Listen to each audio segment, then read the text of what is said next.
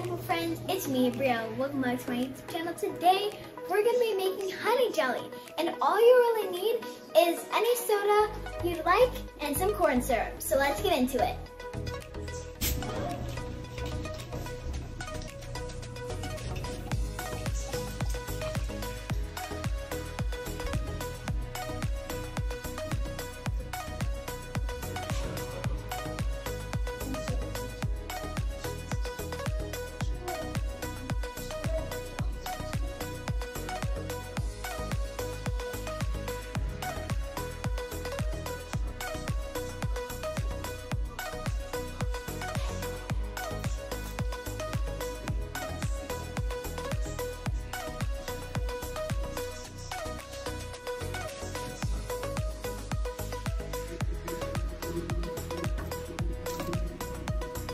Mix equal parts of the soda and the corn syrup, and now we're gonna wait three hours for it to freeze.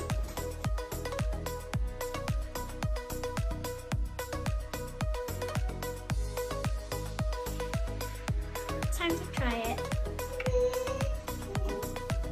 I'm a little upset because it didn't really turn into a jelly, it turned into slushy. Pretty good though.